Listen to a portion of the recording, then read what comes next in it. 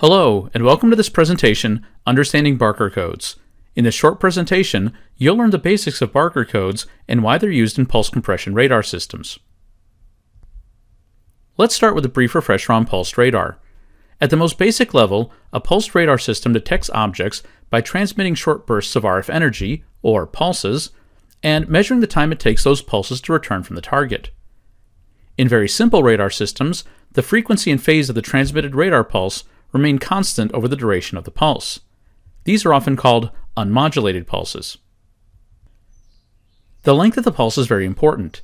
If we want high precision in our range measurements, or if we want to separate closely spaced targets, we need to use shorter pulses.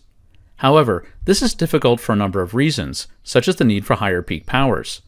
One way of getting around this issue is to use longer pulses, but vary the frequency or phase over the duration of the pulse. This is called pulse modulation or modulation on pulse. You'll also hear this called pulse compression because we're essentially using a longer pulse but achieving the same results as a shorter pulse. There are a number of different ways of compressing pulsed signals, but most of them can be divided into two categories frequency modulation and phase modulation. In frequency modulation, we vary the frequency during the duration of the pulse. This can be done in many different ways, sometimes linearly, sometimes up, sometimes down, etc. Linear frequency modulation is probably the most common form of pulse compression, or pulse modulation, and you'll often hear linear frequency modulation referred to as chirp. In phase modulation, the phase of the signal is changed at various points during the pulse. Phase modulation is usually implemented by splitting the pulse into a series of identical width subranges. Each subrange is then assigned either a 0 degree or 180 degree phase shift. Traditionally, a 0 degree phase shift is represented by a 1 or a plus sign, and a 180 degree phase shift is represented by a 0 or a minus sign. Note that in this example we have only two possible phase shifts, 0 and 180 degrees, so we call this a binary code. There are other phase modulation compression schemes that have more than two states, and these are called polyphase codes but in this presentation, we'll limit our discussion to binary codes.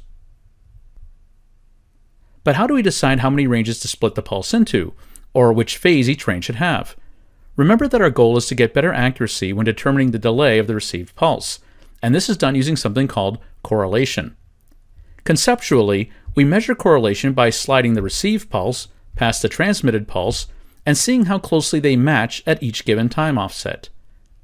Ideally, We'd like our pulse to have a pattern of phase changes such that this pattern matches itself strongly at one, and only one, offset, thus yielding a clear and unambiguous peak with a minimum possible energy elsewhere. Although our goal is a single unambiguous correlation peak that corresponds to target range or distance, you may have noticed that the correlation process produced smaller peaks as well. These peaks are called side lobes. Minimizing the level of these so-called time or range side lobes is a very important part of pulse compression radar design because it makes it easier for us to find the true peak. It turns out that there are some phase sequences, or codes, that have very desirable correlation properties and produce very low side lobes. The most important of these are Barker codes, named after R.H. Barker, who first published a paper on them in 1953. Barker codes have three main advantages. First, they produce a very high peak to side lobe ratio. Second, they have the theoretical minimum energy in the side lobes. And third, the side lobe energy is uniformly distributed. Although Barker codes are best known for their use in radar, Barker's original application had nothing at all to do with radar. In fact, Barker codes are now used in a wide variety of non radar applications, such as 802.11b Wi Fi, SAW based RFID tags, ultrasound, etc. There are actually multiple Barker codes. There are Barker codes with lengths 2, 3, 4, 5, 7, 11, and 13. The longer the code, the lower the side lobe level. Side lobe level can be calculated using minus 20 log n, where n is the length of the code. And interestingly, despite extensive research over the last 65 years, no additional Barker code sequences have been discovered. When looking at Barker coded pulses in the time domain, you'll often notice small notches in the RF magnitude.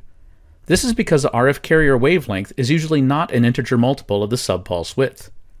Therefore, we see notches at the phase reversal points. The Barker 13 coded pulse shown here has six notches in the pulse magnitude, and each one of these notches corresponds to the six phase reversals in the code.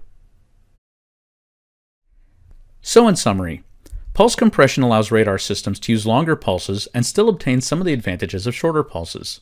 This pulse compression usually involves changing the frequency or phase of the pulse as it's being transmitted. Barker codes are one of the most important types of phase based pulse compression because they yield a high peak to side lobe ratio, minimum side lobe levels, and a uniform distribution of side lobe energy. There are nine total Barker codes of various lengths, and research seems to indicate that there are no additional Barker codes. And lastly, even though we discussed Barker codes in terms of radar applications, they are also used in many non radar applications as well. This concludes our presentation, Understanding Barker Codes. Thanks for watching.